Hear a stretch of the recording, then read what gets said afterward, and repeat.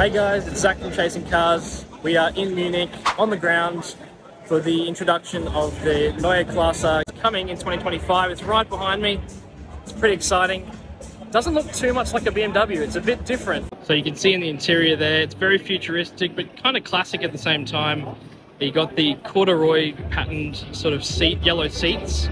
You've got a very futuristic steering wheel, uh, digital side mirrors. You've got a central screen, but then inside is a huge like head-up display, which is the panoramic vision system.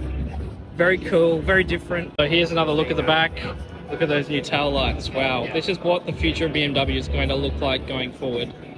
Very, very exciting and very futuristic. And you can see straight through there to the cabin where the panoramic vision is. Very cool.